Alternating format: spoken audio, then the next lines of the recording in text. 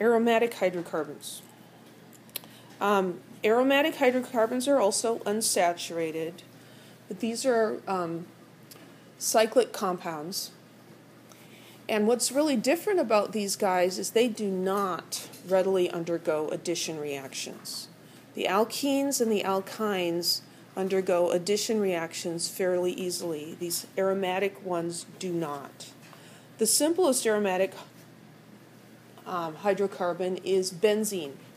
And this is the space filling model of benzene. And it looks kind of like an inner tube, doesn't it? It's got six carbons and six hydrogens, and it's actually a flat, planar molecule. Unlike the things, the um, alkanes that you're building in lab today, where they're very three dimensional. This one's flat.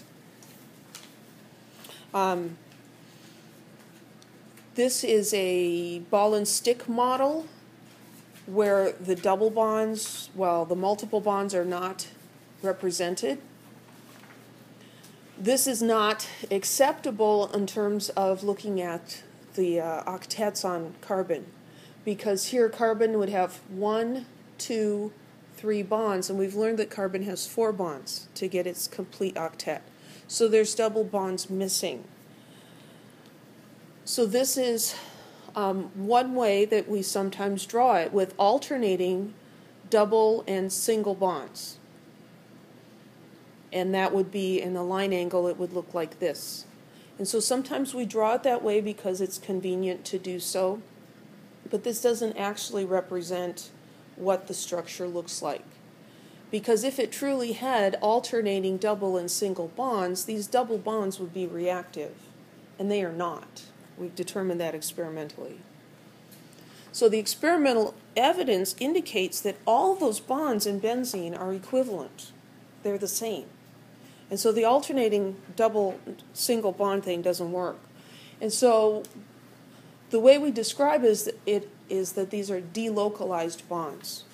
So there is a single bond between each carbon, but then the double bond is delocalized. Instead of the electrons being shared between two carbons, they're shared across more carbons. And so, um, a more accurate description of, of what this looks like is the hexagon with a circle in it.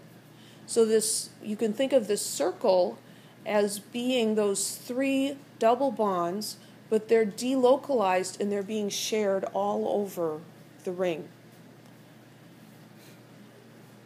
These are two resonance structures. The difference between the structure on the left and the structure on the right is only the position of the double bonds. Um, so we've got alternating double and single bonds, or we can alternate them this way. The actual structure is, is an average of these two.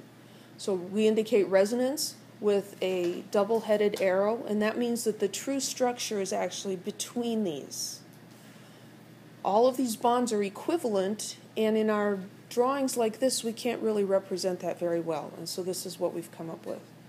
So that's a very unique situation, um, and it happens um, with certain um, cyclic compounds, unsaturated.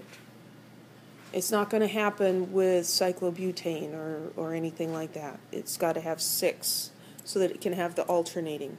And this gives it um, a special stability, which is why it doesn't undergo um, why it doesn't undergo addition reactions.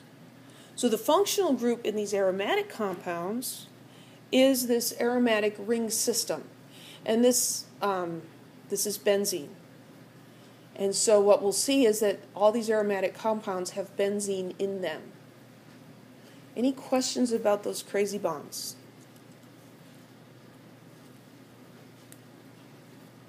They're very weird.